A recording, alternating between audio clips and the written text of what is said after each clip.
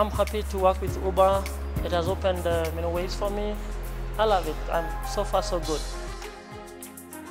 Uber has changed lives, for especially for young people here in Kenya.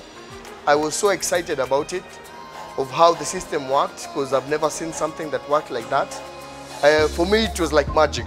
It's so good for the, for the riders. Even me, sometimes when I'm not working, I use uh, Uber as a rider. Most of the riders, when they come, most of them, they are so excited to find a lady driver. And, and, and they're so excited, they even wish we can have more women doing what I do.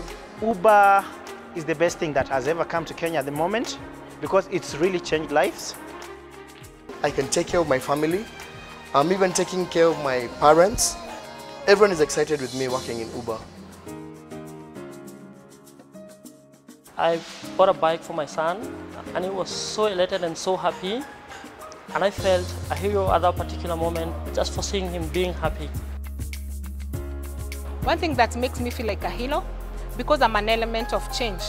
I'm a woman who is doing uh, what is not obvious for women. There's this woman I picked from Kileleshwa. She was just about to give birth. So she was like, it's coming, it's coming, it's almost there. So I was like, what am I gonna do? The woman that I helped called me a hero. She did, she told me I was her hero. Uber being everywhere at all times, it really saves lives. This is the best work I've ever come across.